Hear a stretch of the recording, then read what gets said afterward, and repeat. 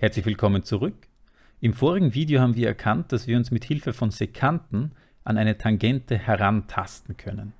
Das klingt nach einer vielversprechenden Idee, die wir jetzt weiter verfolgen werden, aber davor sollten wir noch ein bisschen über Sekanten sprechen.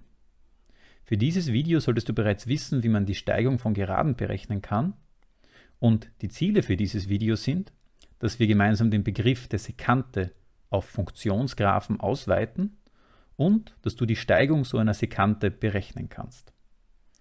Schauen wir uns folgende Situation an. Wir haben hier den Graph einer Funktion, und zwar den Graph einer Funktion f mit der Vorschrift f von x ist 1,5 mal x hoch 3.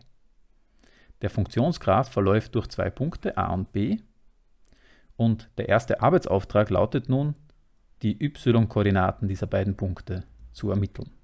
Nimm dir dafür kurz Zeit, pausiere inzwischen das Video und wir vergleichen dann die Ergebnisse. Also gut, um die y-Koordinaten der beiden Punkte zu ermitteln, müssen wir einfach die jeweiligen x-Werte hier in unsere Funktionsvorschrift einsetzen und wir erhalten für die y-Koordinate vom Punkt A 0,1875 und für die y-Koordinate vom Punkt B 0,768. Jetzt wollen wir einen Schritt weiter gehen und zwar eine Gerade durch die beiden Punkte legen. Diese Gerade nennen wir dann eben Sekante von f durch a und b.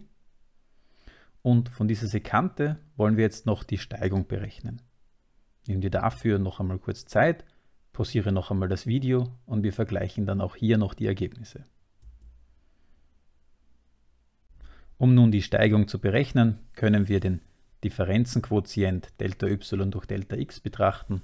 Delta y wie üblich die Differenz der beiden y-Werte, Delta x die Differenz der x-Werte also erhalten wir insgesamt diesen Ausdruck hier und damit eine Steigung von 1,935.